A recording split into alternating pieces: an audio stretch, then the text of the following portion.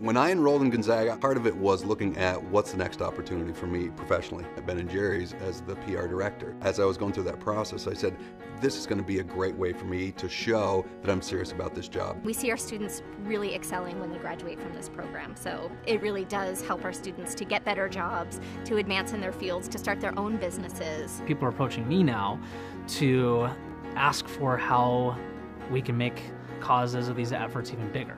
You know, the CEO of a Fortune 50 company kind of wants to get my opinion about how to do this. It's unbelievable to me. The doors that have been unlocked and the success that I've been able to see